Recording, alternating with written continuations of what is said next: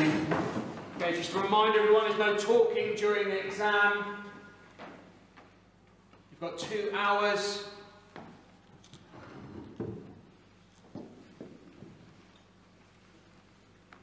Begin.